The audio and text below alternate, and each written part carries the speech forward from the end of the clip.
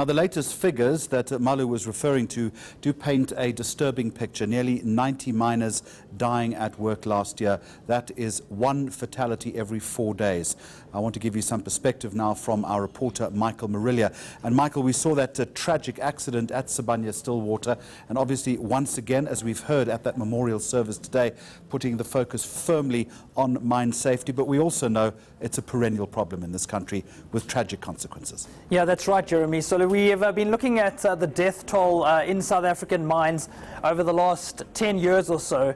And uh, what we've seen is a steady decline downwards. Uh, the death toll was above 200 in uh, 2007.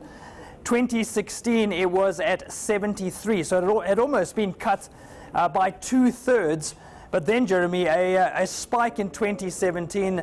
The number for last year was 86 fatalities, 86 fatalities. And if you look at that red bar at uh, the right of your screen, Jeremy, that's the uh, figure for the first few months of 2018. And uh, disturbingly, 30 miners already losing their lives over the past few months. So we have been making progress in terms of this sector.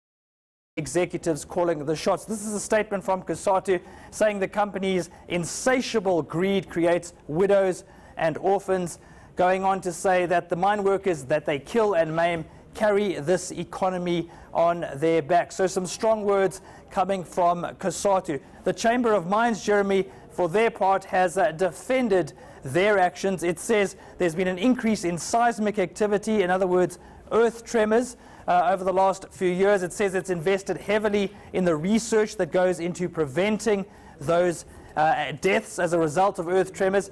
And these are the numbers it's giving us, Jeremy. 2003, 48 deaths related to seismic activity. It says it's managed to cut that down to 14 deaths in 2017. It also says it spent large amounts of money on the problem, as much as 290 million rand on research and implementing that research into safety programs. This battle, Jeremy, it seems, is far from over. All right, Michael Marillier, thank you very much indeed.